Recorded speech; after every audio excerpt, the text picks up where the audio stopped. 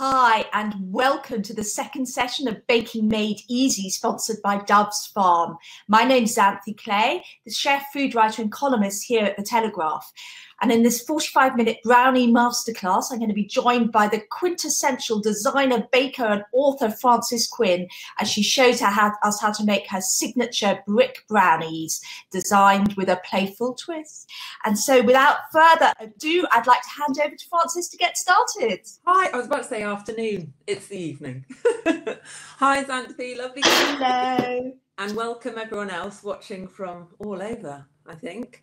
Um, so yeah, as Xanthe said, I'm going to be showing you how to make, it's probably my most signature um, recipe from my book. So it's the Bourbon Brick Brownie. So it's the idea of pairing like a British classic biscuit, like the Bourbon, as Xanthe's showing there. Um, just it. that's all right, I'm going the brownie, with a brownie. So you get that mix of texture.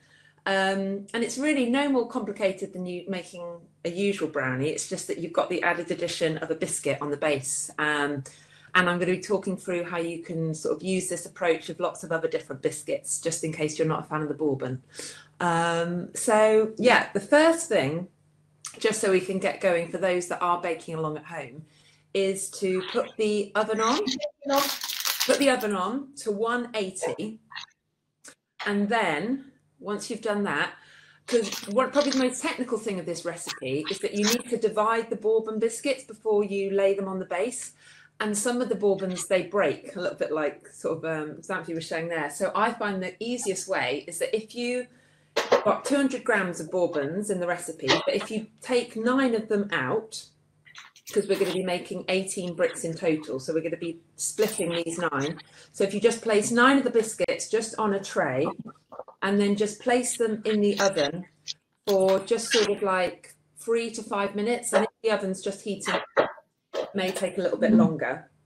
Okay. So that's the first thing to do.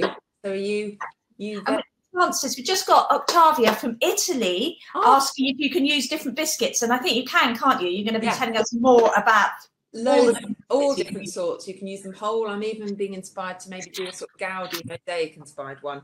Um, so yeah, like I said, it's a it's a platform to many different versions. But yeah, so if you just take nine of your biscuits, mm-hmm. just place them on a tin, can be a, like that, brilliant, like Xanthe's doing. Just pop them in the oven. I mean, you initially it was just splitting with a knife, but you end up with quite a few casualties there. so um, just leave them to um, warm in the oven for a little bit. Um, so while they're doing that, I'm just wondering if anyone's got any questions just while we're waiting for that bit. Oh, yeah, really good question here. I've eaten one bourbon. Does it matter? Says Sylvia. No, no. This just one. This, I might be in the same place. One less bourbon in the recipe. Excellent. And we got some sugar questions. Um, Gina wondered whether she could use light brown sugar instead of caster sugar. And Pauline's been wondering if uh, we can reduce the sugar a little bit. Yeah. So I actually, the one that I've got, here's one I made earlier, earlier on in the week. I actually used dark brown sugar. So it doesn't really matter too much. It's just going to depend on then how much sort of like more treacly your brownie is. So I'm using caster sugar today, but you can mm-hmm. use golden caster sugar. Soft brown's good.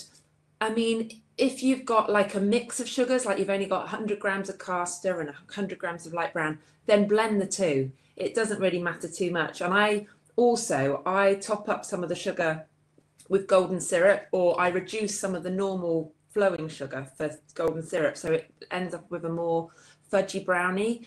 And you can also then use honey or maple syrup.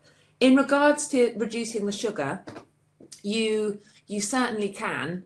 Um, in fact, I've sometimes even blended up dates or banana um, in, in place of the sugar as well. So it's mm. um, part of the sugar does make it sort of really go caramelized and fudgy, but I probably, you could probably afford to reduce it by a third potentially, or maybe a quarter. So just sort of play around with, um, it's everyone's taste buds really. So, but yeah, but as, as regards to sugar, you can just if you're there and you're really wanting to make brownies and you've only got a, like a mix of sugars, then still make it. Don't feel, oh, I haven't got the precise amount of the sugar in the recipe.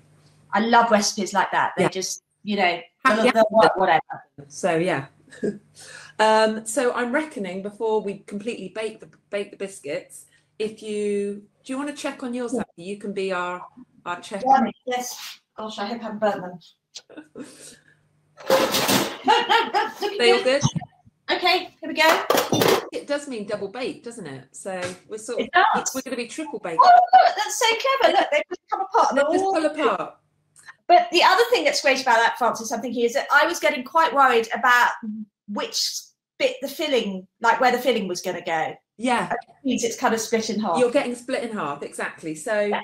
just then, if you just divide your biscuits now while they're still wet, smell so chocolatey now. I mean, they're probably Yeah. a few more are probably going to go missing that aren't going to go.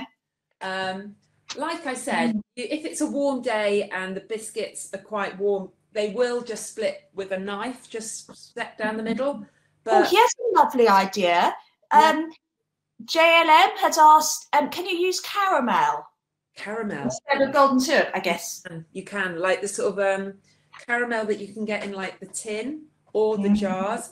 I've even done marmalade when I'm doing chocolate cake brownies. I'll come back to that another time. But marmalade's really good. Um, in fact, the original recipe for this, because they're bourbon, I actually use malt extract. Oh, what does that do if you use it more? just adds a really dare i say more deep malty flavor um, but it's just you can find it at like chemists or holland and barrett but it's not as easy to come by as golden syrup. So but if you've got malt extract try that. So you should now have 18 um, bourbon biscuits split.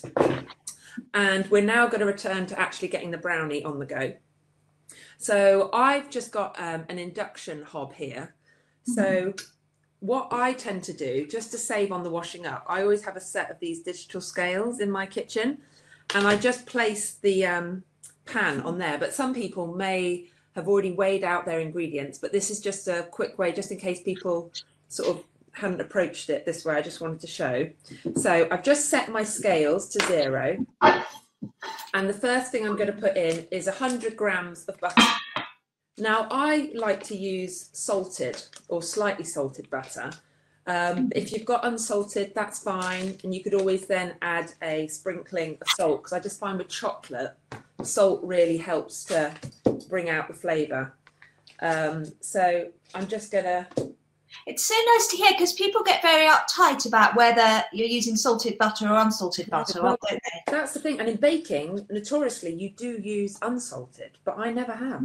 But I've got very low blood pressure, so salt isn't a problem. But I'd say maybe if people are checking their salt levels, but the more salt, the better. So yeah, I've literally just cut off till it's 100 grams in weight, just um, slivers of the butter. So I've got 100 grams Mhm. in my pan right there. Oh, you're doing it straight in the pan, not in a. I was thinking in a bowl over. No, I'm saving on the washing up something. It's just it's lazy. I love this. So I've got 100 grams of butter in there. I'm then just going to set my scales back to zero. And I'm going to now add in my sugar. So straight from the bag. And I want 200 grams of sugar. But like I said, you could use light brown. You could use a mix of sugars. So you're just looking for double the weight in sugar butter. There we go. Oh, so that means you can kind of scale this recipe up. Yeah. Oh gosh, that's what the the recipe from the book. It's all about that. No, I don't. Every recipe in my book it starts with 50 grams, so it's either 50, 100, 150, 200. Because I don't. It's just it's like the building blocks of baking in my head. So there we go. So we've got 200 grams of sugar in the pan, and then the secret ingredient, which is my golden syrup, and it's two tablespoons. And a tablespoon of golden syrup, rather than weighing it out with a spoon, because then it's always tricky to get it off, I just either do 25 grams per tablespoon, so it's 50 grams Mhm. of golden syrup going in, or you can just slightly eyeball it. But it tends to be 50 grams. Oh, we had a question. Some, um, somebody asking whether we could use stevia, you know, like an artificial sweetener. It's not artificial, I know. But, uh, Yeah, I haven't tried it myself, but again, you know, like you were saying about reducing the sugar, maybe you could look at doing half sugar, half stevia. And I think it's getting to the point when you don't notice it. It's when you start going, oh, that hasn't got the same impact that you may mm. need to pare it back a little bit. And obviously, you do have to be a little bit careful. But also, the good thing about these brownies, because of the biscuit, is that they're already going to be portioned off. So I always say it's worth having something good and like having sort of more vegetables around it than sort of having a sort of too much of a low sugar and not being satisfied. But yeah, do try with stevia um, if you want. That that should be fine. But I'd say still incorporate some sugar. Um, so I've got all my sugars and my butter in the pan, mm-hmm. and I'm just going to turn it on to a sort of medium to high heat. Okay.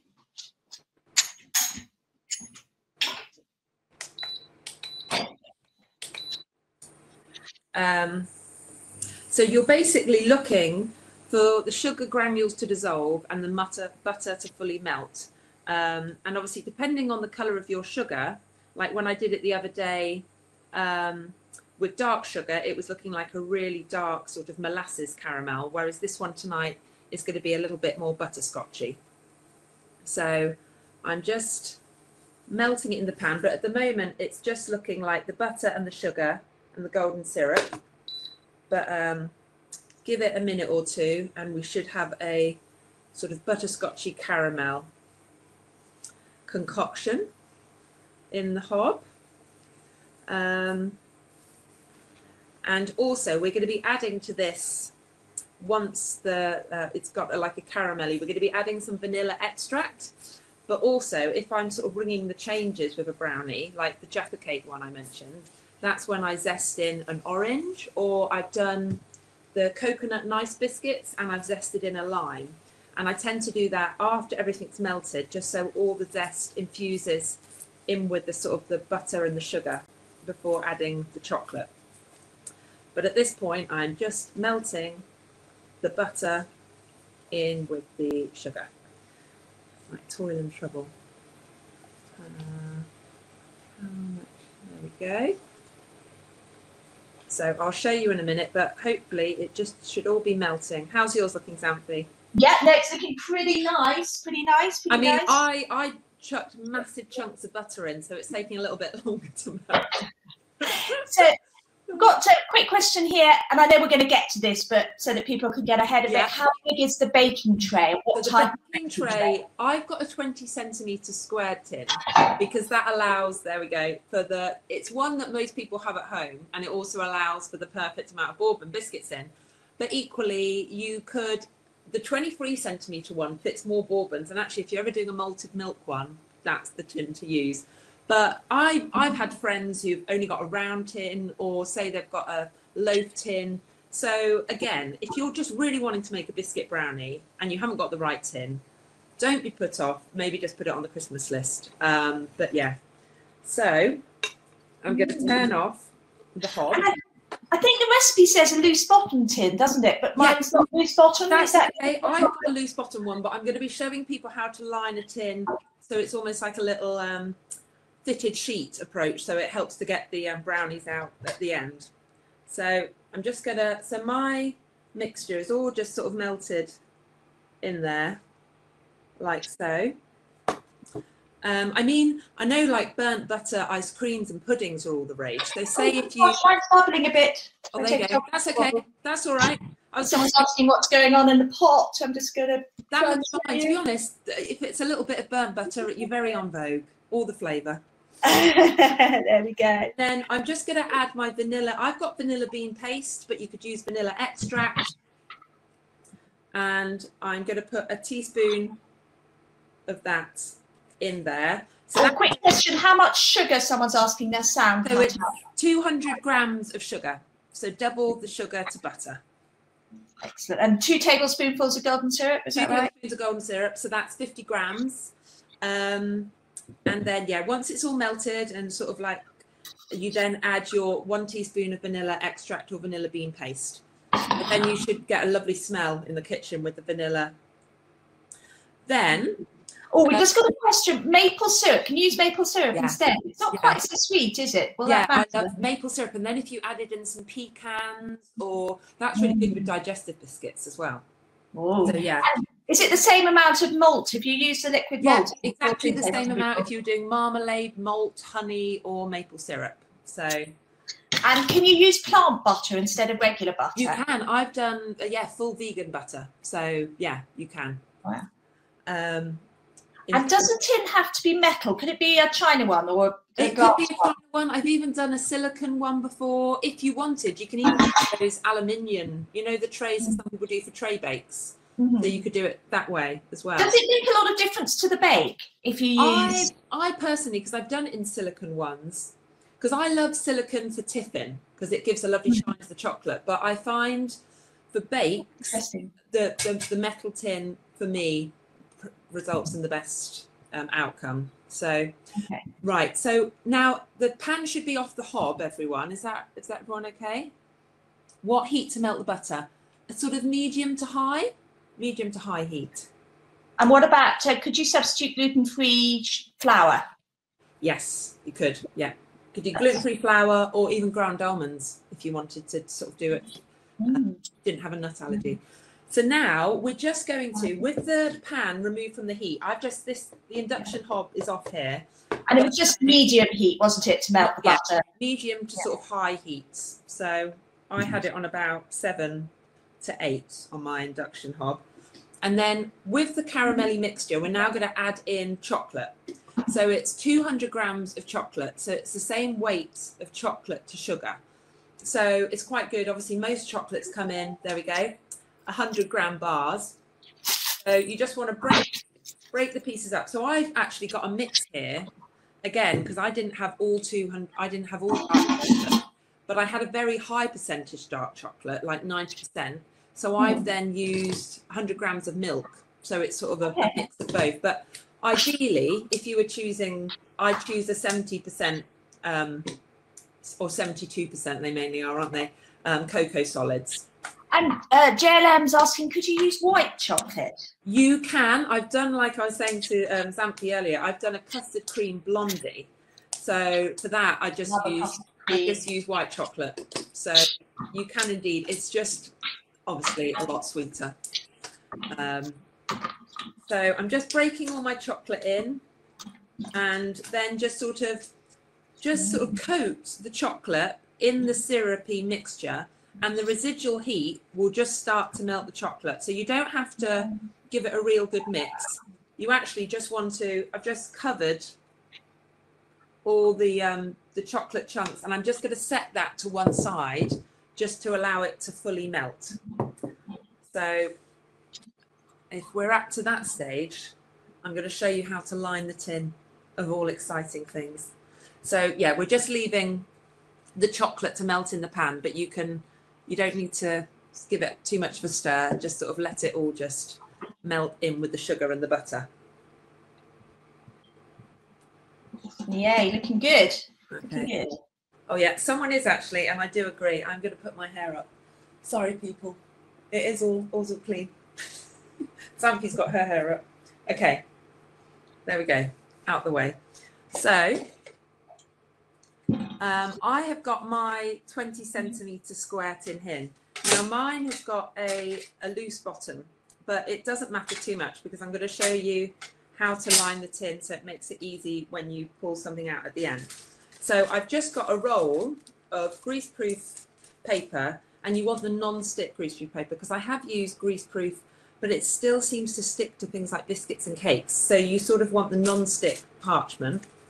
And I'm just going to pull the paper out, just the sort of the width of the tin. You don't need to be too precise, just sort of you can do it by eye. And then I'm just going to cut down. Then you can see there that the paper is sort of the width of the tin there. Um, and then what I tend to do, because sometimes when you cut it like that, it all rolls in on itself. So I just give the paper a brief sort of scrunch up, pull it back out, and it just makes it a lot easier to sort of handle. So you see like that? So it almost looks like sort of ye old parchment paper now. And then I'm just going to place that in the bottom of the tin. But as you can see, you've got sort of higher raised bits here. So I'm just going to take my scissors and just cut along the side, both sides. So then you've got enough to line the inside, so the, the paper's all going up the sides there. And then these two bits that you cut off, they are going to just go in the sides, so every side of the tin is fully covered. And for those that don't have a loose bottom tin, it means because of these little sides that you can pull the brownie out at the end. Although because of the biscuits in the base, they easily pop out. You don't find it sticks at the bottom, which is good. So what I'm going to do, it doesn't matter too much, but I'm just going to take some of the butter and almost use it as like Pritt stick. So I'm just going to use my fingers and then just run it around the sides of the tin. You don't really need to worry about the bottom because the paper is going to. So just sort of almost use it as like a bit of edible Pritt stick. That's just going to help stick the paper in place. So I'm just going to take my side bits, stick them down like so. And then just take, it's almost like the bottom sheet, and place that down there. And then you will have the bits there coming up at the side. So it's all fully lined like so. And then we're going to take the nine bourbon biscuits that we've split already and I'm going to start placing them. Now you want to place them Excellent. with the writing side Writing side. down, down on down on the tin, so the the filling is looking up at you. And So we're we're kind of making an upside down cake. yes, exactly. So you're looking at doing three rows of six. Now, some people they like all their bourbons going in exactly, you know, the writing in exact Oh, order. I, I don't worry about that at all. Uh, I actually quite like the look. You'll see when I've got the here's one I made earlier. And you're going to be cutting them up anyway, so you can turn them round once they're baked into brownies. now I'm going to be all obsessional Any, about any. OCDs in the house? This is the time to put your hand up. Definitely. Okay, come on. Who's pushing them in the right way up? Okay. I mean, like I said, if you had like a round tin, you could be putting them in sort of. You could even do like a parquet floor effect, but let's not get that adventurous right yet. So I'm just placing them in the bottom of the tin. So you will end up in total with 18 bourbon brick brownies. So you can see like that. So some of them have a sort of the chocolatey bit, but that doesn't matter. That's all going to go in. Okay, Yay. Ta-da. voila, perfect. Yours are very good. Okay, so that is ready to fill in with the brownie mixture, which we're going to return to now. So if you just take your um, uh, tin, and hopefully the chocolate should all have started to melt, like so. So just give it an encouraging stir. I've just got like a silicon spatula, but you can use a um, you can use a spoon if you want, like so. So yeah, it's all melted there. And now we're going to beat in the eggs. So you need two eggs for this. So it's like we had two tablespoons of golden syrup. We're going to be using two eggs. Um, now, sometimes I sometimes put the pan outside or somewhere cool. In fact, Xanthe said when she's got a cold fan on, that helps cool the tin a little bit. But I think we should be okay. We're hopefully not going to poach our eggs. But if you had a little bit more time, then maybe let the pan cool down a little bit more. So I'm just going to break in two eggs into the pan, like so. And then I've just got a handheld beater here, but you could, if you want, just use a spoon. And I'm just going to beat them in. Brilliant. And I wanted to ask Frances, when you were doing Bake Off, that was one of the things that always seemed to be a massive issue, getting things to be cool enough in time. I No, it was time and fridge space was the enemy, and uh, and Oh. temperature. Yeah, Because you, you haven't got one fridge each, have you? You're sharing your fridges. No, you're it was like being in a student house. So you'd be like, "Can I rent some fridge space?" But and particularly, like, it was just getting hot cakes out the oven and putting them straight in the freezer. It's sort of not what I'd normally recommend in a recipe, but there you've just got no time. So you can see that. I mean, like I said, you could use just go at it with a spoon. It's Yeah. got this amazing sort of ganache texture. Yeah, exactly. It should be really sort of lovely and emulsified. Yeah. That's there, and then I've got 100 grams of plain flour. Excellent. So it's same weight of flour as we had butter at the beginning. So I'm just going to put that in. Now you could sieve it if you want, but it's a brownie, so you don't really have to worry too much about it being too light and airy. Um, but obviously, if your flour's got lots of big clumps in, maybe give it a sieve. Is and- that why we sieve flour? Is it to make? Does it make cakes lighter if you sieve them? You It sieve just adds a bit more air in, and like I said, yeah, if you've got big clumps, you sometimes find in some bakes, so there is a clodge of, of flour. It depends sometimes how long the flour's been sitting on the shelf or in your cupboard at home. It can get quite compacted. Um, so I'm then just folding the flour. Oh, it's how much flour was it again? So 100 grams of flour. Excellent. And we just got um, somebody asking, oh, um, about the grainy sugar. It's um, has it curdled if the sugar's still a bit grainy? Um, no, it should be at all? It should be all right, and it will um, melt in the oven because obviously that was just to heat and sort of like melt the two ingredients together. But then it's going to be going into a hot oven, so I have to say, I was a bit worried. Mine was a bit grainy earlier on, but actually now I've added everything and stirred a bit more. it looks. So now. You see, I'm left like you said, It looks like a really, really thick, lovely, almost like the middle you get of like the perfect chocolate fondue. I mean, to be honest, do we have to bake this? Can I not just you you know, Eat this go with a teaspoon? now. And then obviously to make them our biscuit brownies, we're now going to be adding in um, the biscuits that we didn't use in the base of the tin. But this is my basic brownie recipe. So if you wanted, you could just do this and not have the actual biscuits. But the biscuits just add an extra crunch and taste and flavour. So I've just got the rest of the biscuits that I didn't actually put in the tin. And you can just break them up in a bag, but I tend to just sort of do it with the scissors that I've got. I had doing the um, baking paper. So I just sort of take the biscuits to the hairdresser and I just sort of break them up like that. But you could equally bang them with a rolling pin. You could break them up with your hands.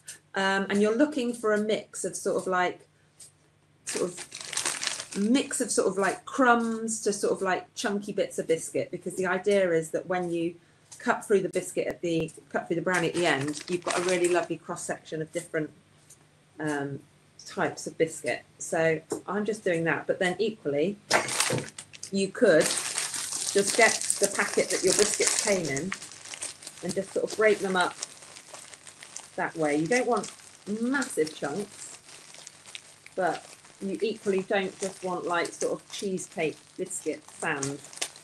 So I'm just gonna empty that in. And then I'm going to just fold that through the brownie mixture. Um, and the other thing, if you were making this for probably adult party, to make them really bourbon, you can add a glug or two of bourbon whiskey. Ah, clever. Um, or you could even add some like amaretto if you wanted a bit of an almond Mm. twist, um, bit of brandy. So Or if I was doing a Jaffa cake one, because I know you talked about doing them Yeah. Jaffa cakes, didn't you? if Bit of, bit of Cointreau, bit bit of of- Cointreau, really good. Or rum is rum's really good if you're doing a lime one as well. So now you should just have a really thick Mm. Whoa. Brown mix going on there. So I'm just going to take then my my tin that's lined with the bourbons on the base. It's a little And bit like a tiffin mixture, isn't it? Because you've got Yeah, the biscuit No, there. exactly. Um, and then just sort of dollop it over your biscuits and try and sort of like dollop it in like the corners, the middle, the Mhm. sides, just so every bit of um, biscuit is covered. So in we go. Uh, like so.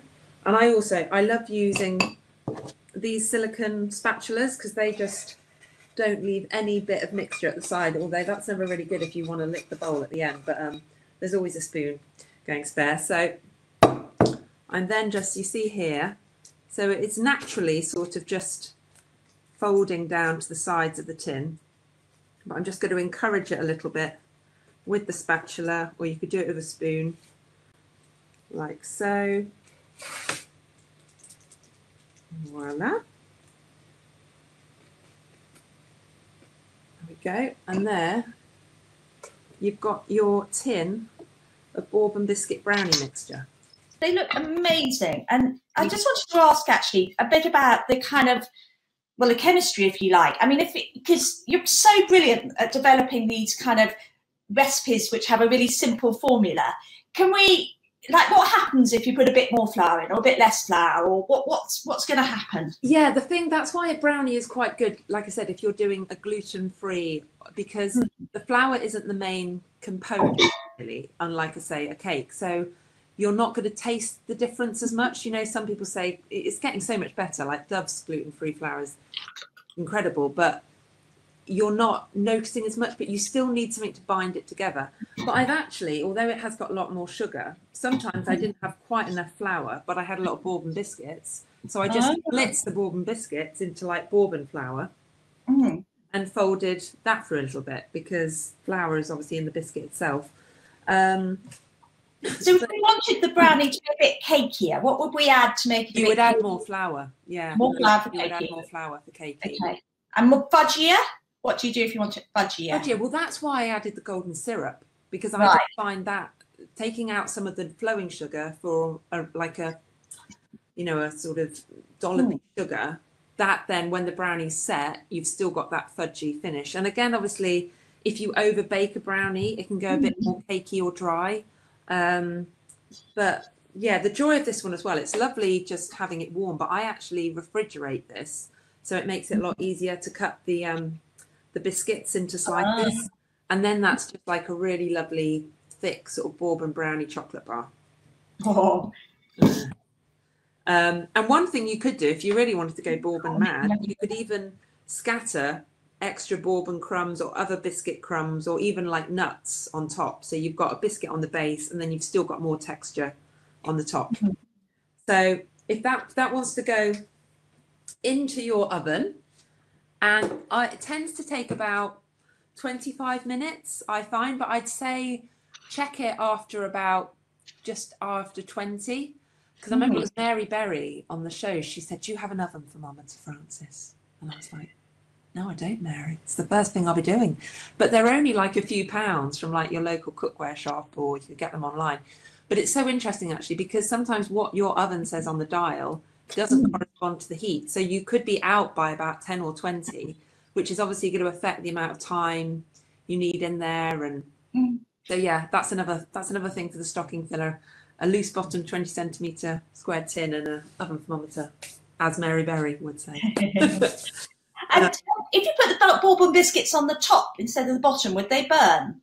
They wouldn't burn too badly. It's just the thing about doing them on the bottom is that the brownie mixture places them down so they're then completely almost cemented in um, mm. although someone the other day um, they made them and they actually did them on the top and the bottom um, mm. But i would say just to get a cleaner finish putting them on the bottom and it's more fun when you pull them out of the tin because you think it's just a normal brownie mm. as i'm going to be showing you um, you actually then and can i bake it as a normal brownie like if i wanted to do it Oh, totally. Like base it's sort of this is where they all came from. Hmm. But like you were saying about the baking maths, so that was the basic brownie recipe there. So I just sort of have like a visual pie chart. Um, and then there's a table at the bottom which shows you how to make a brownie, 24 mini ones, 12 cupcake ones, which I'll be showing you in a minute, this sort of 20 centimeter one. So you can ring the changes. Genius. So yeah, it's, yeah, it's like the baking baking maths. But here we are. This is one I made earlier. So like I said, I once it's cooled down to room temperature, I put it in the fridge just so it's a lot easier to slice the brownies. Um, so as you can see, this is obviously a loose bottom tin, but because of the um, the little fitted sheet thing, it just pulls out really simply. Put the tin to one side, and then I will reveal the biscuit bottom. So you can already see it coming through. Voila! So you see, you've got all the biscuits there stuck on the bottom. I mean, you can have it there as a, a giant brownie, but um, we're now going to start cutting them into individual bricks. So, where is my knife? Here we go. So I've just got like a sharp serrated knife, but as long as you've got something that's quite sharp, and I'm just literally going to start cutting through in between the biscuits, like so. And because they've been in the fridge, they're just lovely and fudgy. I'd maybe take them out a few minutes before you're about to cut them, otherwise they can be a bit too too cold to cut through. I mean, if anyone this evening is wanting to have them straight away, you can. Um, but if you can resist, maybe you could put them in the freezer for a little bit or put them in the fridge overnight and then have the joy of uh, revealing them in the morning. So I've just cut one there. So you just get like individual, and then you can see like the chunks of biscuit there. So I'm going to start cutting them because then I'm going to show you how you can start making a bourbon biscuit wall. So they're really simple to cut through. Uh, it's like a production line with bourbon. fantastic. And Frances, if I cooled them down, yeah, like you say, which sounds like makes a lot of sense for cutting them, but I really love a warm brownie. What's yeah. the best way to warm them up? Well, I would say just put them either like we warmed up the biscuits in the tin. You could put them in the oven for a little bit. You could try it in the microwave. Um, I mean, you could even sometimes, you know, if you've made a coffee or a hot chocolate, you could just put a saucer on top of your hot drink, and that should just sort of warm it from the bottom. But I'd say probably the oven or the microwave is the best way, and then put some ice cream on, and uh, you're in heaven. In fact, well, can I just say just quickly, somebody's just asked what um, 160, 180 is in Fahrenheit, and that's uh, 375, 350 or 375. Well, you're, you're the maths person there. but you see, that one's got lovely big chunks of Ooh, biscuit. Yum. So we're nearly here. I'm just going to make a. But you could also, as well, you could do like, like I said, I've done malted milk ones. You could do a lotus biscuits are actually really good. Um, mm. And for the malted milk one, did you add some of that malt syrup? Yeah, I used I added malt syrup for that. Um, in fact, I've done a malted milk and cookies tiffin, mm. which is, and I even added milk bottle sweets um, to that. So it's always a play of words. So that one's got really big chunks of bourbon in wow. there. So because like you can obviously, I actually did for a wedding the other month. They didn't want a typical cake, so they wanted a bourbon biscuit wedding tower. So I had trays worth of them. So I'm just showing you different ways of presenting them other than just eating them straight away. You Brilliant. Can... So what else did you do for the wedding cake? Did it have flowers or? Yeah, so I did like basically a whole stack of brownies on like, mm. always use a tree trunk to display cakes on. And then all they had lovely white flowers and eucalyptus and rosemary that was just all scattered in. So it was quite a nice contrast with sort of like the sort of dark chocolate and the white. So you can do it like a whole tower like that, and you're getting to see all the middle bits. But if we've got any sort of uh, builders in the house, I will show you how you can make it into a bourbon biscuit wall. So you just start lining your bourbons up like so. And then now you can, if you wanted to, you could even use like Nutella as cement or like lotus spread or if you've got any leftover ganache. But because the brownies themselves are quite fudgy, they naturally just sort of adhere to each other. So it's a bit like a new take of edible um, Tetris or Jenga. So here you go. And then it gets to see who's going to have them topple down. So, so yeah, if, you, if you're having any sort of like kitchen renovations in the house, the builders have a cup of tea and a bourbon. Oh, you see, we lost one there. Are you gonna? I'm just got a question. about uh, replacing the leftover biscuits with nuts or dried fruit. Yeah, no, I I love that. To be honest, I sometimes just whatever I've got, sort of like half bags of salted peanuts or some cranberries are really lovely in this. Um, I've even done, well, I've even put cereal in, like granola and like crunchy nut cornflakes. So it's just, I think rather than just having one dimension, go to like your sort of favorite sort of flavors and biscuits and confectionery and just throw it in like that. Ginger um, biscuits, Carolyn's asking. Yeah, all all sorts of. I've even done here, in fact, because when we were chatting last time, Anthony, you were saying, can you do jack cake or round biscuit? So it's exactly the same recipe, but I just used. You could even do like a. Oh, you see one popped up already. Uh, you could use cupcake um, tin and have cupcake liners, but this is just a silicon one. So here we've got a chocolate chip cookie baked on the base. That's so So you just pop the cookie on the bottom. This one we've got a Ritz cracker. Um, ah, that's a real salt and say, salt and sweet. Yeah. and then you could put like pretzels or peanuts on top of the mixture before it's Mm. baked. This one is the Jaffa cake. So if you are doing a Jaffa cake one, make sure it's sponge side um, on the base, otherwise the chocolate's all going to melt. And then that's the one that you'd fold marmalade through. This one, we've got another cookie going on here. And then this one here, so that's a ginger nut. And they're they're really good. In fact, you know sometimes you get that jar of stem ginger with the syrup. So Mhm. you could then add the syrup rather than golden syrup to add a really lovely ginger boost. In fact, I think it was Rosemary suggested maybe putting some chopped crystallized ginger in. And then if you wanted to, Rosemary, you could do a, a ginger biscuit one. And then one thing I did here, so once you've baked your brownies and they're still warm, all I did was I took a chocolate covered digestive biscuit and Mhm. placed it on top because it's the perfect size and the chocolate just melts. So you can't pull that apart now. And it's like a double sided chocolate biscuit. And then I even had a mini silicon one Oh, and I just put little mini chocolate chip cookies in. oh So it's you can just go to town.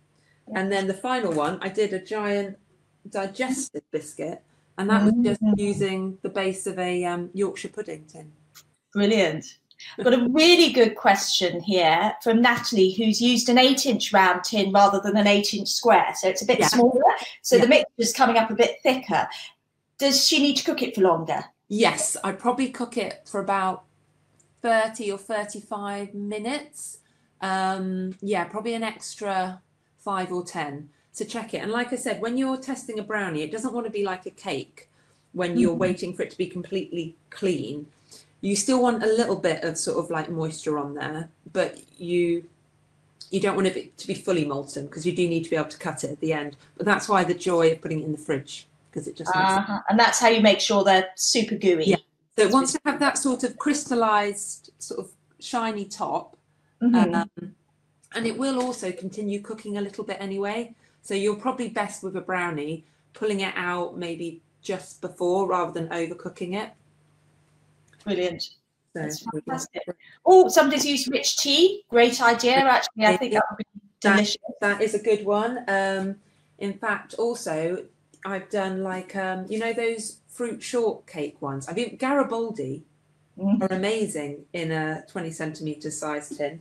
And also, I think I was saying for people liking malted milk, you can obviously do the malted milk brownie, but this was like the malted milk and cookies tiffin. So, Oh, yeah, clever. And uh, that's actually going to be a little bit cleaner to eat, I'm just thinking. you Yeah. know. If you're at a garden party you want to stay in fact, someone, because they saw the brownie tower, they're having a mix next year of bourbon brownies and malted milk tiffins all in a all in a tower. So yeah, you don't have to wait for the cake to be cut. You can just go straight in.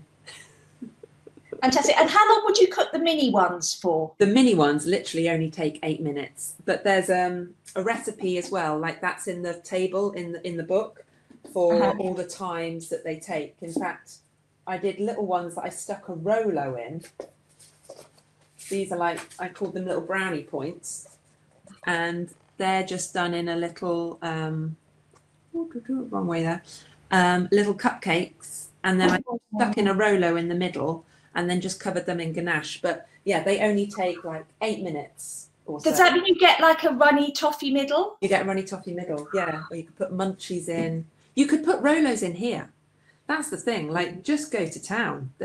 That's why I did the basic recipe for the brownie. So that's your base, and to that, you can just go wild. You know, Amazing. Bombay mix. I mean, whatever you want. I'd stop at Chicken brownies, that'd be good. Yeah. Oh, Frances, you've been completely amazing. Thank you so, so much. And um, thank you, all of you, for asking all the questions. Great questions. Maltesers, someone said. I love Maltesers, that. Maltesers are really good. I, I did I did so many trials doing the book. Maltesers I find work better in tiffin because they do tend to just dissolve, uh, Ah, but still, you know, give them a go. Brilliant.